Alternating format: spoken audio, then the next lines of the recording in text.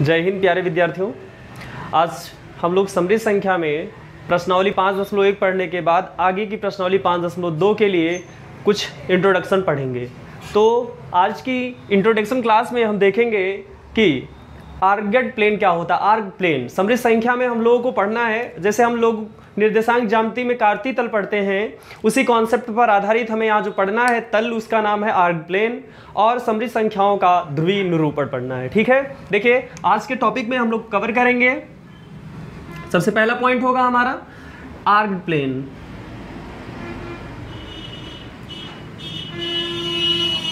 और दूसरे पॉइंट में हम कवर करेंगे समृद्ध संख्या का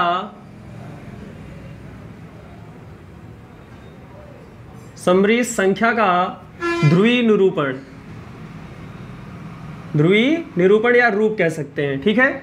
इस पॉइंट को, इन दोनों पॉइंटों को हम कवर करेंगे और साथ में ये भी देखेंगे कि किसी भी समृद्ध संख्या का कोणांक कैसे निकाला जा सकता है, जिसे हम लोग आर्ग्यूमेंट कहते हैं अंग्रेज़ी में। ध्यान सुनिए, ये आर्ग प्लेन और समृद्ध संख्या का ध्रुवीय निरूपण जिसके अंतर्गत पढ़ा जाता है, उसे हम लोग कहते हैं कार समृद्ध संख्या का समृद्ध संख्या का तो हम लोग इस दोनों टॉपिकों इन दोनों टॉपिकों को समृद्ध संख्या के जामिति निरूपण के अंतर्गत कवर कर रहे हैं। ध्यान से देखिए समृद्ध संख्या का जामिति निरूपण। जामिति निरूपण। किसका है ये? समृद्ध संख्या का।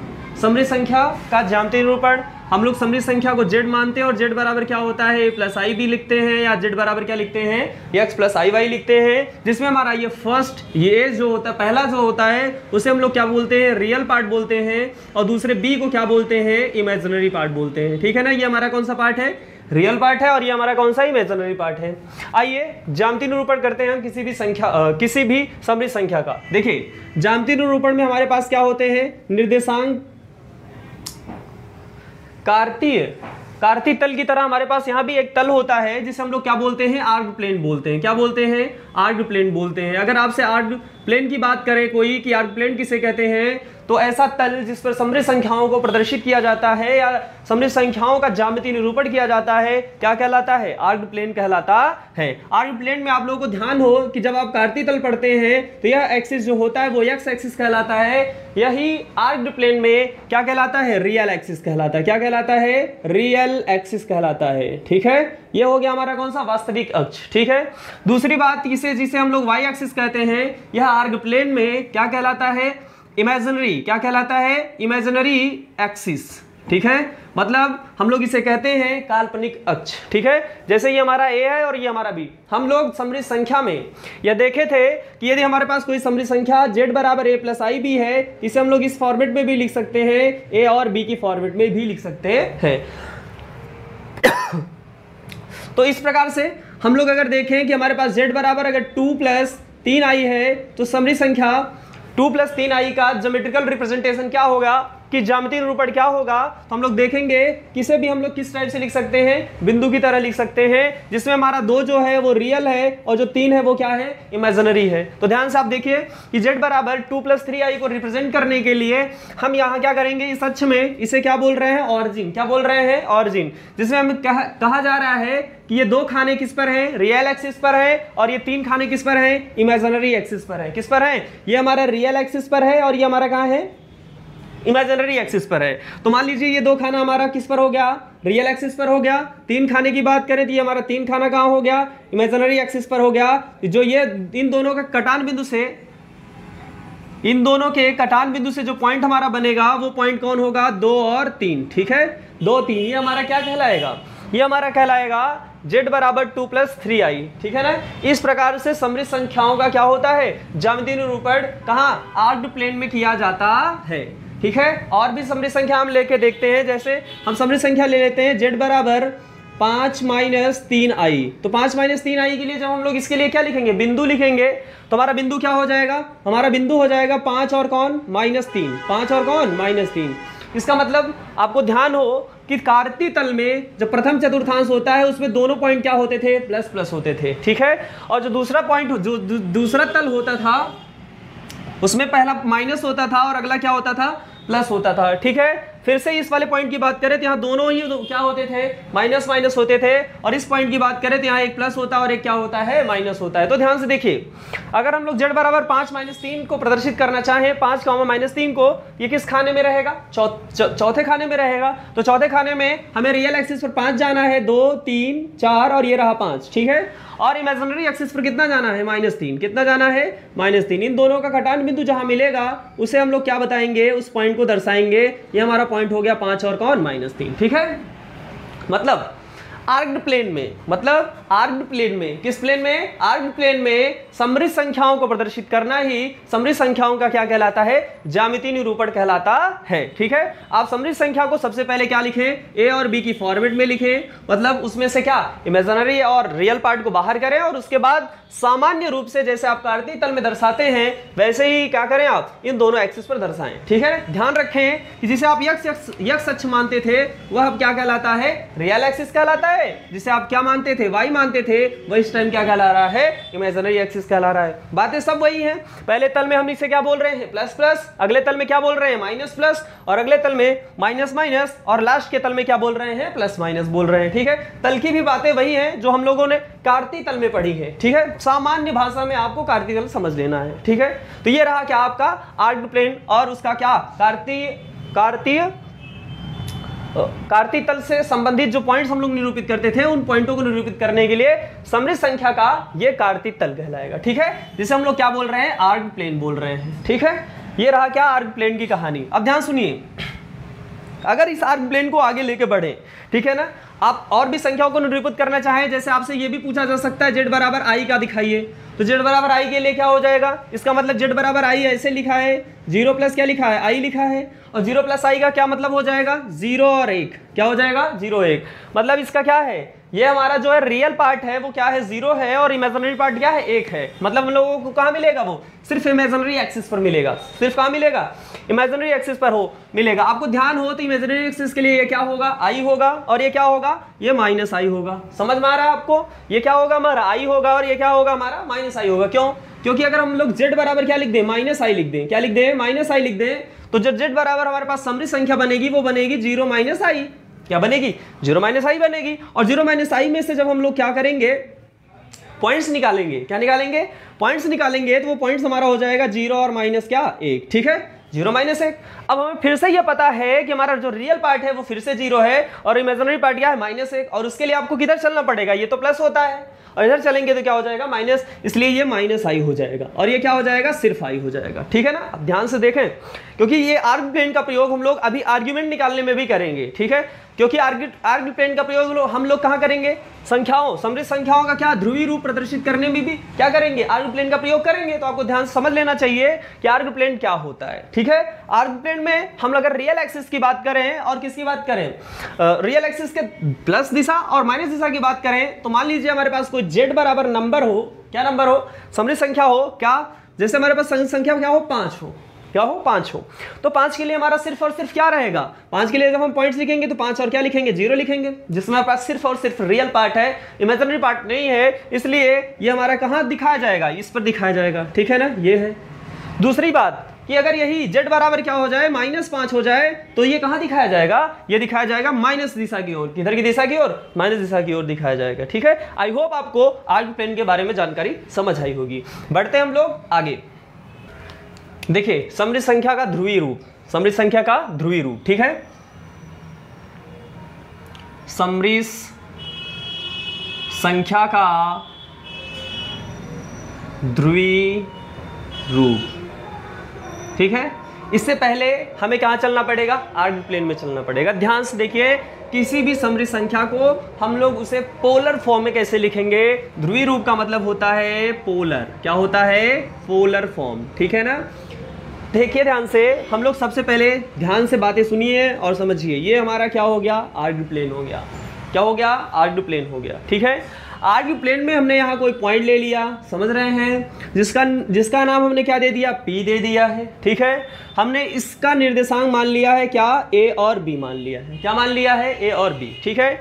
अगर ये हमारा मूल बिंदु है तो मूल बिंदु से हमने पी को क्या कर दिया? मिला दिया है। तो मूल बिंदु से अगर पी को मिला रहे हैं मूल बिंदु से क्या मिला रहे हैं? पी को मिला रहे हैं। तो ये जो रेखा बनी है, ये एक वेक्टर की तरह कार्य करती है। किसकी तरह कार्य करती है? एक वेक्टर, सदिश की तरह कार्य करती है। ध्यान देखिए। कि इसे हम लोग क्या लिखते हैं? मॉड ऑफ़ जेड लिखते हैं। क्या लिखते हैं? मॉड ऑफ़ जेड, ठीक है? या फिर आप ये भी समझ सकते हैं कि मूल बिंदु से पीत के बीच की जो दूरी होगी, वो हमारी क्या कहलाएगी? मॉड ऑफ़ जेड कहलाएगी। ठीक है ना? ध्यान से देख लीजिए। अगर आपको अभी भी नहीं समझ आया है तो पी को मान लेते हैं हमारे पास। जो पी है, वो एक समृद्ध संख्या है। कैसी समृद्ध संख्या है? समृद्ध संख्या है ए प्लस आई बी की फॉर्मेट में। ठीक है? अगर हम लोग इसका मॉड निकालें तो मॉड ऑफ़ जेड क्या हो जाएगा? मॉड निकालें अगर जेड का तो मॉड ऑफ़ जेड क्या हो जाएगा? Mod of A plus I B ठीक है? और ये हो जाएगा root under of A square plus क्या हो जाएगा? बी स्क्वायर ठीक है?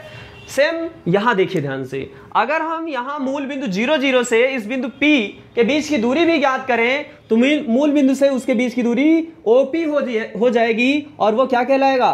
Root under A square plus क्या कहलाएगा? बी स्क्वायर कहलाएगा, ठीक है? ये हुई ना बात हमारी, ठीक है? ध्यान से अगर आप देखेंगे इसी जेड को हम आर कह रहे हैं। क्या कह रहे हैं? आर कह रहे हैं। क्यों कह रहे हैं? सौरभ?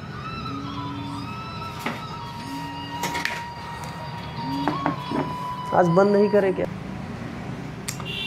तो हमारे पास ये जो मॉड ऑब्जेक्ट है, उसे हम लोग क्या लिख रहे हैं? आर लिख रहे हैं। ये हमारा क्या हो जाएगा? आर हो जाएगा। ठीक है? आर अब भी क्या कहलाएगी? हमारी डिस्टेंस ही कहलाएगी। क्या कहलाएगी? डिस्टेंस ही कहलाएगी, सिर्फ़ हमारा लिखने का तरीका बदल रहा है। आप चाहें तो हम आप आर की जगह मॉड ऑफ़ जेड रखेंगे तो भी हमें कोई दिक्कत नहीं है। ध्यान से देखिए, हमारे पास जो समृद्ध संख्या है, वो हमने क्या मान रखी है? पी मान रखी है। पी बराबर क्या हमारे पास? ए प्लस आई बी है। ठीक है? तो जेड बराबर हमारे पास क्या हो गया? ए प्लस आई बी ठीक है? ध्यान देखिए। तो ये हमारा हो गया रिजेड ठीक है? मान लीजिए, हमारे पास जो समृद्ध संख्या है, उसके लिए यहाँ अगर हम लोग क्या करें? लंब खींच दें। क्या खींच दें? लंब खींच दें, ठीक है? और ये हमारा यहाँ से यहाँ तक की दूरी क्या कहलाएगी? एक्स एक्सिस पर है। तो एक्स एक्सिस के लिए ये दूरी क्या कहलाएगी? ए कहलाएगी, ठीक है? और ये दूरी क्या कहलाएगी? हमारी बी कहलाएगी, ठीक है? मान लेते हैं एक्स एक्सिस से कितना कोण बना रही है? ठीटा कोण बना रहा है। कितना कोण बना रहा है? ठीटा कोण बना रहा है। तो अगर हम लोगों को क्या पता हो, अगर हम लोगों को क्या अगर हम लोगों को ये निकालना हो ए और बी निकालना हो, क्या निकालना हो? ए और बी निकालना हो तो ध्यान से देखिए। सबसे पहले हम लोग किसका प्रयोग करेंगे? साइन का प्रयोग करेंगे। किसका प्रयोग करेंगे? साइन का प्रयोग करेंगे। तो साइन थीटा बराबर हमारे पास होता है लंब बटा कर्ण क्या होता है? लंब बटा कर्ण अब देखिए साइन थीटा बराबर अगर कर्ण होता है तो लंब लंब बटा कर्ण अगर होता है तो लंब हमें क्या? लंब ये हमारा है। लंब का मान रख देते हैं तो यहाँ क्या हो जाएगा? कर्ण का मान हो जाएगा। कर्ण इंटू क्या हो जाएगा? साइन थीटा ठीक है? और इसकी जगह क्या लिखा जाएगा? बी लिखा जाएगा। अब ध्यान देखिए बी बराबर हो जाएगा हमारे पास के की वैल्यू हो जाएगी root under A square plus B square into क्या हो जाएगा? साइन थीटा ठीक है ना? ध्यान से देखिएगा, ठीक है? दूसरी बात, यहाँ जो बी हम लिख रहे हैं, ये तो हमारा एक वो है इमेजनरी एक्सिस है, इसलिए इसे क्या लिखेंगे? आई बी लिखेंगे। क्या लिखेंगे? आई बी लिखेंगे तो ये हमारा क्या कहलाएगा? आई बी भी कहलाएगा। इसलिए साइन थीटा के साथ कौन आ रहा होगा? आई भी टहल रहा होगा। ठीक है ना? ये रहा अपना बी ठीक है? आगे देखिए ध्यान से, अगर ए निकालना हो तो ए ज्ञात करने के लिए हम लोग क्या करेंगे? कॉस थीटा का यूज़ करेंगे। समझ रहे हैं ना? क्या प्रयोग करेंगे? कॉस थीटा यूज़ करेंगे। और कॉस थीटा बराबर हमारे पास हो जाएगा क्या? आधार बटे कर्ण क्या हो जाएगा? आधार बटे कर्ण अब ध्यान से देखिए, अगर आधार की बात करें तो आधार हमारे पास ए है और ए बराबर हमारे पास क्या हो जाएगा? ए बराबर हमारे पास हो जाएगा क्या? के क्या हो जाएगा? के ठीक है? के कॉस थीटा के कॉस थीटा तो के कॉस थीटा हो जाएगा। तो ए बराबर हमारे पास क्या हो जाएगा? रूट अंडर क्या हो जाएगा? A square plus B square into क्या हो जाएगा? कॉस थीटा क्या हो जाएगा? ए बराबर root under A square plus B square क्या? प्लस कॉस थीटा ध्यान से देखिए। हम लोगों ने यहाँ के बराबर साइन थीटा इंटू बी ले लिया है। ये तो हमने यहाँ पॉइंट्स लिया था। अगर हम लोग समृद्ध संख्या लेते तो आई लेते। अब आई अगर हमने शुरू से ही नहीं लिया है तो शुरू से ही नहीं लेंगे, ठीक है ना? तो यहाँ आई हटाई लेते हैं, नहीं तो अभी हमारे पास दो आई हो जाएगा। क्यों? क्योंकि जब हम लोग इसकी वैल्यू उठा करके ए बराबर और बी बराबर उठा के रखेंगे तो दोनों की वैल्यू में आई हमें फिर से मिल जाएगा, ठीक है? अब ध्यान से देखिए। अब समृद्ध संख्या हमारे पास क्या थी? ध्यान से देखिए। अगर हम समृद्ध संख्या की बात करें तो हमारे पास समृद्ध संख्या जेड बराबर क्या थी? ए प्लस आई भी थी। समृद्ध संख्या जेड बराबर क्या थी? ए प्लस आई भी थी। हम लोग क्या कर रहे हैं? जेड बराबर ए की जगह रख देते हैं। क्या रख देते हैं? ए बराबर रख देते हैं। Root under A square plus B square root under A square plus B square और क्या? कॉस थीटा ठीक है ना? आगे देखिए ध्यान से। फिर हमारे पास क्या था? यहाँ देखिए, यही देख लीजिए, ये प्लस है। हमने यहाँ क्या लगा दिया? प्लस लगा दिया। ये हमारे पास क्या है? आई है। बी की वैल्यू देखिए। बी की वैल्यू हमारे पास क्या है? यहाँ देखिए बी की वैल्यू है रूट अंडर क्या है? Root under A square plus B square into क्या है? Sine theta. इंटू क्या है? Sine theta. ठीक है? इन दोनों में हम देख पा रहे हैं, हमारे पास root under A square plus B square क्या है? कॉमन है। हम लोग इसमें से क्या कर लेते हैं? Root under A square plus B square क्या कर लेते हैं? कॉमन। ठीक है? तो हमारे पास जो बचेगा वो क्या बचेगा? बचेगा क्या? Cos theta. क्या बचेगा? Cos theta. प्लस क्या बचेगा? I sine theta. ठीक है ना? ये हो गया हमारा। अब आगे ध्यान से देखिए, इसी बात को तो हम लोग क्या कह रहे हैं? मॉड ऑब्जेक्ट कह रहे हैं। इसी बात को तो हम लोग क्या कह रहे हैं? मॉड जेड कह रहे हैं। आप चाहें तो इसी जेड को मॉड जेड ब्रैकेट में cos theta plus I sine theta लिख सकते हैं। ठीक है? दूसरी बात, इसी मॉड जेड को आप ये भी लिख सकते हैं कि ये आर है। ये हमारा क्या है? आर है और आर बराबर हो जाएगा आर कॉस थीटा प्लस क्या हो जाएगा? आई साइन थीटा ये है आपका क्या? समृद्ध संख्या का ध्रुवी निरूपण। ठीक है? आप क्या कर सकते हैं? किसी भी समृद्ध संख्या, किसी भी समृद्ध संख्या ए प्लस आई बी को ए प्लस आई बी को दूसरे तरीके में लिखना चाहें तो आप लिख सकते हैं आर ब्रैकेट में cos theta plus I sine theta ठीक है? ये हमारा क्या है? समृद्ध संख्या समृद्ध संख्या ए प्लस आई बी का कौन सा रिप्रेजेंटेशन फॉर्म ये है हमारा पोलर फॉर्म ठीक है? आप ध्यान से देखें तो यहाँ जो थीटा है, वो क्या है? ये कोण है, ये क्या है? कोण है। ठीक है? हम आगे चल रहे हैं और इसमें से ठीका छीटा भी निकालना सीखेंगे। तो ये हमारा क्या हो जाएगा? Cos theta. थीटा, आप थीटा के माध्यम से भी संख्या को क्या कर सकते हैं? प्रदर्शित कर सकते हैं। ऐसी कोई बात नहीं है कि आपके पास क्या होने चाहिए? सिर्फ़ इमेजनरी और मतलब हमारे पास क्या दोनों रियल नंबर ही होने चाहिए, तब हम क्या बना पाएँगे? समृद्ध संख्या बना पाएँगे। ऐसी कोई बात नहीं है। यदि कोई पॉइंट हमारे हमारे कहाँ हो? तल में हो तो हम उसका क्या ज्ञात कर सकते हैं? उसके ध्रुवी रूप में उसे क्या कर सकते हैं? रिप्रेजेंट कर सकते हैं। ठीक है? तो ये रहा हमारा ए प्लस आई बी का क्या? ध्रुवी निरूपण। ठीक है?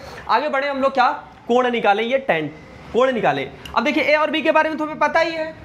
तो ए और बी के बारे में तुम्हें पता है तो हम सीधे सीधे यहाँ देखिए ध्यान से, हम टेन भी यूज़ कर सकते हैं। कि टेन थीटा बराबर क्यों? क्यों यूज़ कर सकते हैं? क्योंकि हमने क्या क्या यूज़ कर लिया है? साइन यूज़ कर लिया है। और क्या यूज़ कर लिया है? कॉस भी यूज़ कर लिया है। तो हमारे पास क्या? टेन की बारी है तो टेन को यूज़ कर लीजिए। और दूसरी बात, टेन यूज़ करने का रीजन ये है, क्योंकि यहाँ टेन यूज़ इसलिए कर रहे हैं, कोण निकालना है तो हमें चाहिए क्या? लंब और आधार चाहिए। लंब और आधार चाहिए तो हम लोग क्या लिख ले रहे हैं? लंब और आधार। लंब आधार किसमें आते हैं? टेन में आते हैं। लंबटा आधार, ठीक है?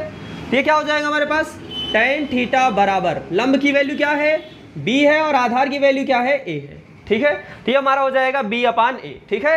यहाँ हम लोग इसे कह सकते हैं कि थीटा बराबर tan inverse B by A theta बराबर क्या? Tan inverse B by A ठीक है?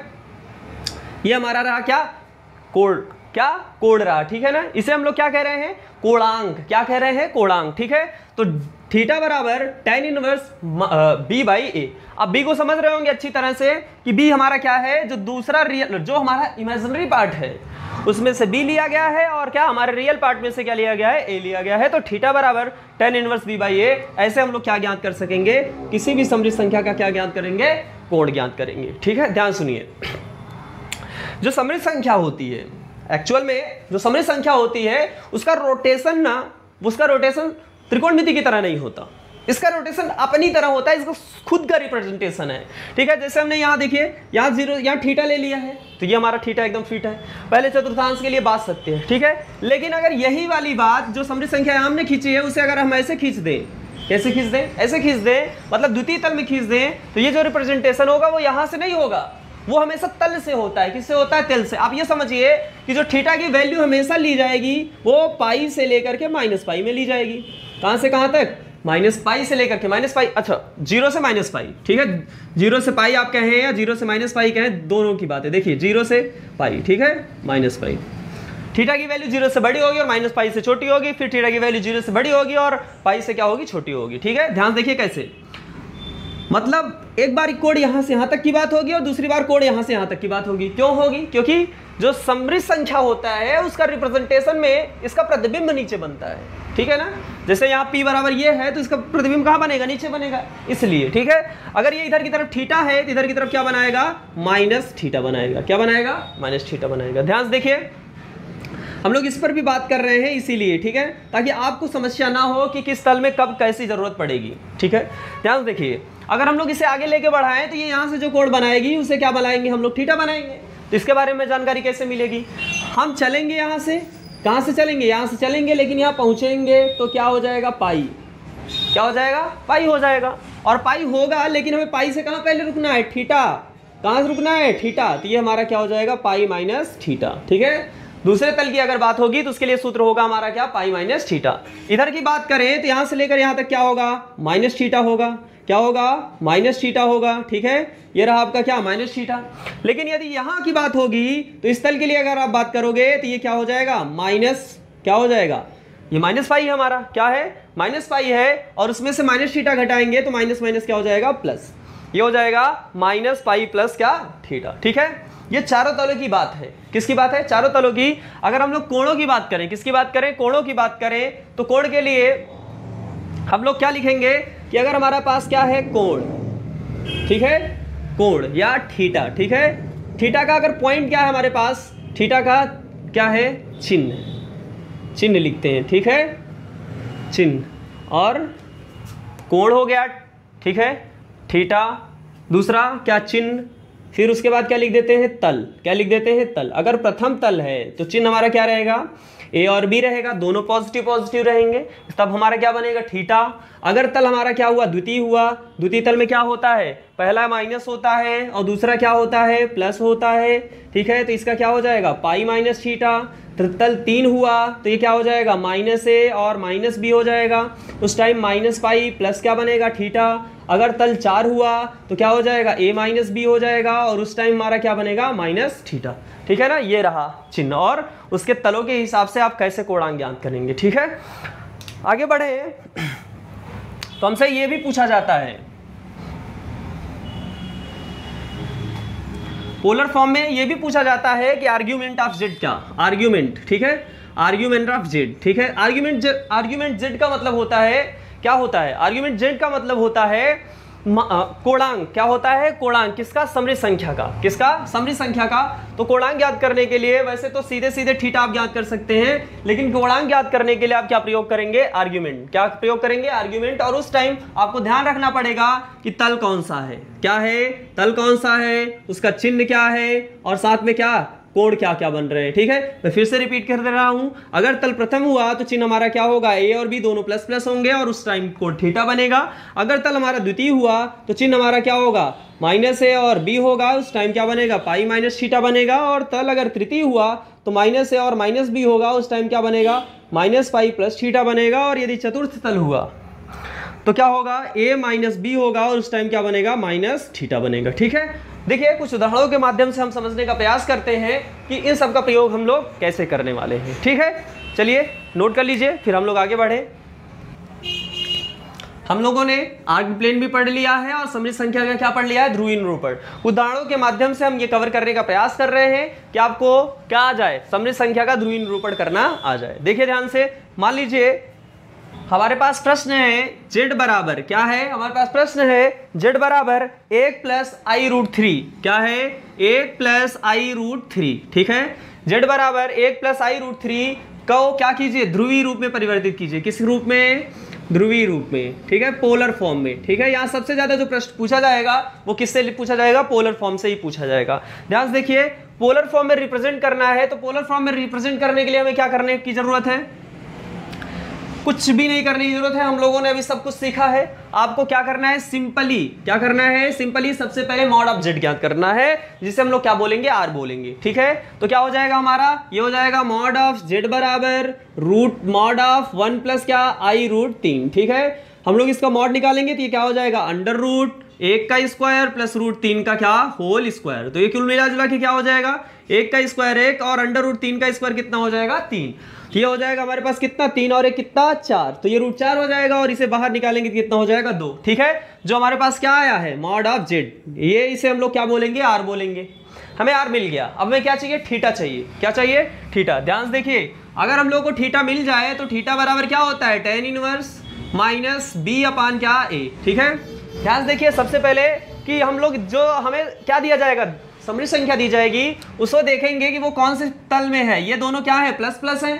इसलिए क्या होगा? प्रथम तल होगा और उस टाइम हमारा जो आंसर होता है वो कौन देता है? ठीटा ही देता है। तो ठीटा बराबर हमारे पास हो जाएगा क्या? Tan inverse minus B B का मान कितना है? रूट तीन बटा ए का मान कितना है? एक। तो हो जाएगा थीटा बराबर टेन इनवर्स क्या? रूट तीन। अब आप ध्यान से देखिए कि टेन इनवर्स रूट तीन कितने का? कितने रेडियन का मान होता है? हम लोग देख पा रहे हैं साठ डिग्री होता है और साठ डिग्री को जब हम लोग बदलेंगे तो हो जाएगा पाई बाई तीन, ठीक है? अच्छा टेन पाई बाई तीन हो जाएगा। क्या हो जाएगा? टेन पाई बाई तीन। और टेन से टेन क्या हो जाएगा? कैंसिल आउट हो जाएगा। तो थीटा बराबर हमारे पास क्या बचेगा? पाई बाई तीन, ठीक है? आप क्या लिखेंगे? समस्थित संख्या के पोलर फॉर्म को लिखेंगे, क्या? z बराबर, क्या लिखेंगे? मॉड ऑफ़ z या क्या लिख देते हैं हम लोग? R cos theta plus I sine theta ठीक है? और जेड बराबर हो जाएगा दो ब्रैकेट में कास पाई बाई तीन प्लस आई साइन क्या हो जाएगा? पाई बाई तीन, ठीक है? आपको समझ में आया होगा? आप ध्यान से नोट कर लें और आप समझ भी लें कि फिर से हमें कैसे कर लगाना है, ठीक है? आपको ध्यान रखने की ज़रूरत है, हमने आपको जो तल पढ़ाया है चारों, वो तल आपको क्या रखने की ज़रूरत है? ध्यान रखने की ज़रूरत है, जब आप क्या निकाल रहे हो? थीटा निकाल रहे हो तो उसका प्रयोग करें, ठीक है? अन्यथा आपको क्या हो सकेगी? यहाँ आप जब आप कोड की वैल्यू रखेंगे तो वो क्या रहेगी? गलत गलत आती रहेगी, ठीक है? ऐसे ही हम और भी उदाहरण आपके सामने प्रस्तुत कर रहे हैं, जिसमें हम लोग दूसरा उदाहरण ले लेते हैं। ठीक है? एग्ज़ाम्पल नंबर दो, जिसमें हम लोग एग्ज़ाम्पल नंबर दो में कवर कर रहे हैं। माइनस सोलह पान, वन प्लस आई रूट तीन, ठीक है? ये हमारा क्या है? एग्ज़ाम्पल नंबर दो है। आप सबसे पहले तो ध्यान से देखें कि आपको जो समृद्ध संख्या दी गई है, उसमें आपको ए और बी मिल गए कि नहीं मिल गए? यदि ए और बी नहीं मिल रहे हैं तो फाइंड आउट करने का प्रयास करें। तो हम यहाँ देख पा रहे हैं हमारे पास क्या जो समरी संख्या है, बिना रेशनलाइज किए, उसमें से ए और बी हम ज्ञात ही नहीं करेंगे, ठीक है? तो सबसे पहला हमारा काम क्या होगा? हम इसके संयुग्मी से, किससे? संयुग्मी से क्या करेंगे?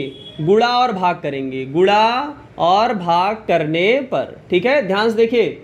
जब गुड़ा और भाग करेंगे तो ये क्या हो जाएगा हमारा?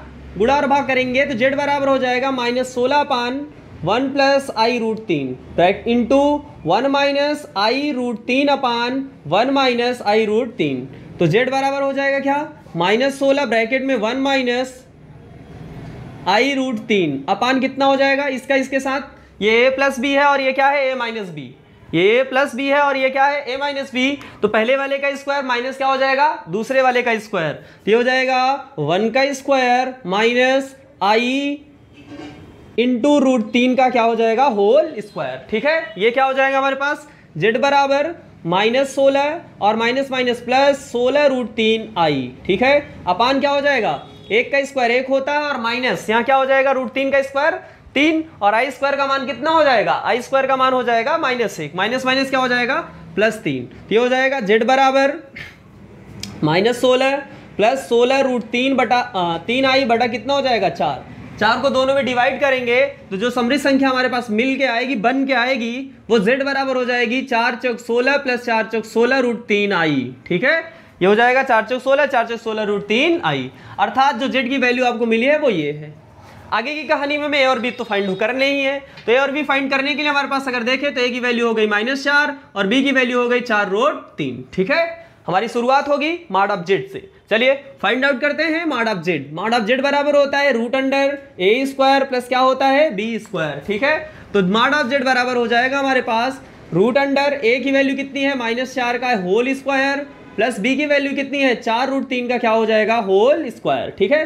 सॉल्व करें तो चार चौक कितना हो जाएगा? सोलह। और सोलह तीन कितना हो जाएगा? अड़तालीस। ठीक है? ये हो जाएगा मॉड ऑफ़ जेड बराबर। चार चौक कितना? सोलह। प्लस सोलह तीन कितना हो जाएगा? अड़तालीस। अगर हम लोग इसे सॉल्व करेंगे तो ये हो जाएगा रूट चौसठ और यहाँ हमारा आंसर होगा मॉड ऑफ़ जेड, जिसे हम लोग आर बोलते हैं। उसके लिए क्या हो जाएगा? आठ हो जाएगा। अब हमारी बारी है कि हम लोग क्या निकालें? थीटा निकालें। क्या निकालें? थीटा।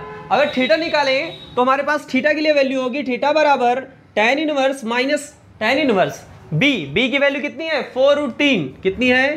फोर रूट तीन. अपान कितना? माइनस फोर अच्छा. सॉरी ये मेरी गलती है। कि हमने यहाँ जो चिन्ह लिया है, उस चिन्ह में हमारे पास क्या पॉइंट्स है? वो है माइनस और फिर क्या है प्लस ठीक है? आपको ध्यान हो तो माइनस और प्लस कहा मिलते हैं? द्वितीय तल में मिलते हैं, और द्वितीय तल में जब हम इसे लिखते हैं, कोण ज्ञात करने के लिए तो इसे लिखते हैं पाई माइनस थीटा मतलब यहाँ जो थीटा होगा, वो क्या हो जाएगा? पाई माइनस थीटा ठीक है? अब ये माइनस यहाँ नहीं रहेगा। क्यों? क्योंकि हम तो उसे पहले ही सॉल्व कर चुके हैं। यदि माइनस और प्लस आया तो हम लोग कौन से खाने में रहेंगे? दूसरे खाने में। और दूसरे खाने के लिए पाई माइनस क्या प्रयोग करते हैं? थीटा तो ये हो जाएगा हमारे पास थीटी, थीटा माइ, थीटा बराबर पाई माइनस ये चार से चार कट जाएगा। अंडर रूट तीन, और अंडर रूट तीन को क्या कहते हैं हम लोग? अंडर रूट तीन को कहते हैं पाई बाई तीन। क्या बोलते हैं? Tan inverse tan pi by तीन। टेन से टेन कैंसिल आउट हो जाएगा, और थीटा बराबर पाई माइनस पाई बाई तीन, और तीन में से जब क्या हो जाएगा हमारा? एक घट जाएगा। तो हमारा आंसर होगा कितना? टू पाई बाई तीन। कितना हो जाएगा? टू पाई बाई तीन। ठीक है? मैं आशा करता हूँ कि आप आसानी से ध्रुवी रूप लिखना सीख गए होंगे। मतलब z का जो ध्रुवी रूप होगा, वो हो जाएगा एट ब्रैकेट में cos two pi by three plus I sine two pi by three ठीक है? ये है आपका क्या? समृद्ध संख्या का कौन सा निरूपण? ध्रुवी निरूपण। ठीक है? आगे देखिए, अगर हम लोग देखें तो हम लोगों के पास जेड बराबर वन प्लस आई रूट तीन और जेड बराबर क्या? हमने यहाँ दो उदाहरणों को आपकी किताब से क्या किया है? कवर किया है। आई होप वीडियो आपको पसंद आई होगी तो वीडियो को लाइक कीजिए।